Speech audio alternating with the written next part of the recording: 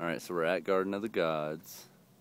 We've already ran some deer from like two different thickets into this third. I'm going to run up on these, and of course they're going to come running out. So here we go video of a bunch of deer.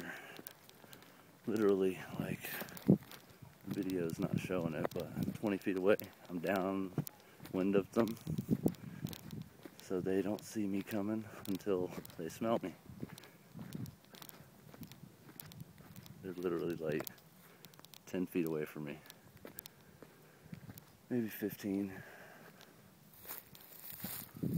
20 feet. And there they go. A whole family of deer.